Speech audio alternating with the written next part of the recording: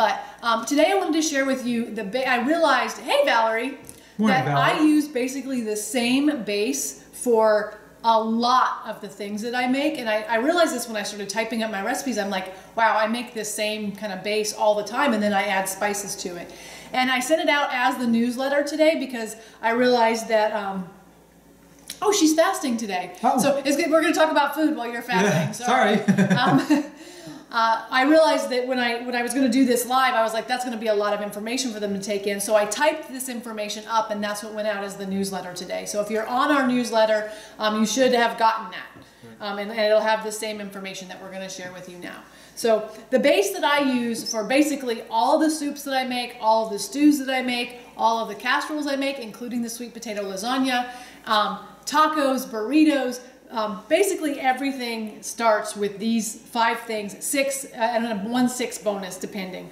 So the first thing I start with is an onion. I always use at least one large onion. Um, you, you know if you watch us that I cook in large batches, so sometimes I'll use two um, large onions. It's got to feed the troops. I do, and, and we and we like onions. Onions are really good for you. So I pick an onion. I taught you yesterday how to chop an onion, how to dice an onion really easily. So it's not hard work to do that. This one is cold because it was in our refrigerator. I keep onions in our refrigerators because then you don't cry when you cut them. So an onion, um, bell peppers. I like the colored ones. I like red and, and yellow and red. Red and yellow and Orange. orange. So I'm looking at orange, saying red twice. Um, I use, and this is a large one. You can probably tell it's a pretty big one. So I use it, match them up. If you do two onions, do two peppers, and any color you like, whatever you have, whatever's available for you is fine. You can even use green. If that in the summertime, I use green because we cook them. We we cook them. We grow. We grow them. Yeah. And so um, I used green ones in the summer because that's what we grow. But so um, match these up one to one, however many you use.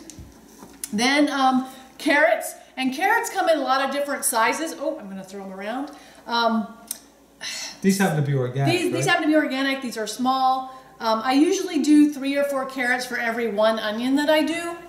That so whatever. I like to grate them. Um, I was grating them by hand on a cheese grater, but I found that if I put them through the food processor and just let the food processor uh, grind them up, that that works well. The reason I like to do that is they can take a little longer to cook than some of the other vegetables, and so if you do that, they cook and they they create a nice sweetness in in the base that you're making. So carrots, um, celery, and my celery is a little?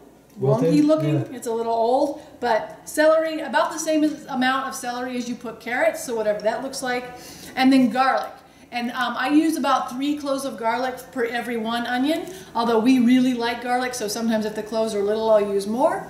Um, I'm not shy about garlic, and I do use, I put that through the food processor as well. We have a little food processor that chops it up really nicely so I don't have to um, chop them with a knife. So garlic, and then depending upon what you're making, you can also add mushrooms. So that's your sixth bonus. And I use a lot of mushrooms. Like this is um, how many ounces is this? And mushrooms are just, I mean, they're also tremendous for They're, you. they're great for you Yeah. cooked. So um, this is 24 ounces. If I were going to make um, a base right now, I would probably use all of this, like everything I have here, plus a few more carrots. And there's two ways you can do it, and I put this in the newsletter too, so that you um, you have it. You can either, and I have a really big frying pan that's deep. You can put them in the frying pan, um, chop the onions and the peppers and the celery all about the same size start them let and i put the lid on and let them just kind of cook down if you turn it up too high it'll burn so make sure you put it on medium heat don't try to rush it and if it starts to get dry, add a little bit of water to it um, and stir it now and then, see how it's doing. Cook it till the onions um, start to get a little bit translucent, and then you can dump in your grated carrots and your garlic. Don't put your garlic in um, with your onions right away because sometimes it can. It's easy to burn it. It's easy to sear your um, garlic. And then just cook it until it's um, a really nice consistency. And you can add your mushrooms in basically whenever you want. They will release a lot of water, so you just you know be aware of that, and that's fine. And it adds adds kind of a brothy, which is really great. If you're making something like tacos, you're going to want to cook it down to where that water kind of evaporates, because otherwise your tacos are going to be really wet, and you know how tacos can be really messy.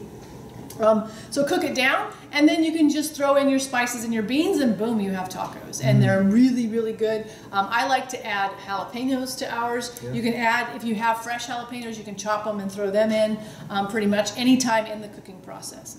So that's that's the way you make it. I make it if I'm going to do tacos or casseroles. Um, if you're gonna make soups or stews, um, I will put it in a big stock pot. So rather than using my uh, frying pan, I'll put it in a big stock pot, throw it all in there, and then you can add either water or vegetable broth and just let it cook till it's the you know the consistency that you'd like it to be, and then add whatever you want to make uh, your soup out of, whether it's um, beans or split peas or lentils or whatever. Add whatever that is and your spices, and then I like to. We make a lot of pureed. I make a lot of pureed soups. So at that point, everything is um, soft enough that I can just put my immersion blender through it. Um, I don't like the idea of taking soup and putting it in a blender to blend it just because I feel like moving hot soup from the pan to the blender and back um, is not safe. So I do use an immersion blender. They're a $20 tool. They're really not expensive. Um, and I would definitely recommend that if you're making um, pureed soups of any kind. Right. Just make sure the immersion blender is made out of metal and not plastic. Um, well, yeah, I mean, I mean, we did. You did use. we the had the plastic yeah. one. I, I, I just like it should. It would melt, but It doesn't. It's Yeah. fine. Um, we had an old one that was really great, but I killed it trying to blend peanut butter. I didn't like that very much. So, So we have a new one, and it works fine. It's you know a twenty dollar tool, and it's definitely worth it. So these six vegetables, five, and then the bonus of, of mushrooms, can basically be the foundation of every meal you make. You can make it and in large batches and freeze it, and then take it out when you're ready to use it. It's very versatile. Um, I I make it pretty much every week. I make something that starts here. So I wanted to share that with you because I know a lot of you were like, well, what do I eat? Well, here's where you start. Right. And then you can add whatever spices you like and, and beans, and you've got a great meal. Boom, no right there. I eat it. I eat it up. All the time, all the time. And you can also put it in your crock pot. I've done that too, where you just put the put all of it in the crock pot, including your beans, like the whole thing, and just turn it on overnight, and it's done in Let the those morning. flavors mix. And, Yeah. Yeah, it's really so, good. Uh, you can cook it in a crock pot as well. I have not tried Instant Pot with it. I don't have one. Um, I just I don't feel the need to have one. But if someone wants to try it in Instant Pot, let me know how that goes. Exactly. Do you have any opinions about all of this? No, just I'm ready to eat. Okay. uh, like I said, I did send the newsletter out that has the same information, so you guys didn't have to try and write it down and remember. So if you're on the newsletter, you do have it, and um, it, it's uh, available to you. If you're not on the newsletter, you should be. Go to rnrjourney.com and you can sign up, and you can find it under um, find what I wrote about this under articles. That's where you can you can find it. It's the latest article.